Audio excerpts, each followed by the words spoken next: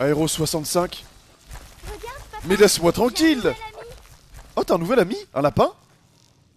Je peux le garder S'il te plaît? Oui, très bien, mais vous en êtes responsable. C'est bien, c'est bien. Ça, ça lui apprendra la vie. Tu es fantastique. Merci. Je suis fantastique. Je permets à ma fille d'avoir un lapin de compagnie. Mais c'est qui? C'est lui? Lui, c'est Chardon. Et lui, c'est Petit Lapin. C'est l'animal de compagnie de ma fille.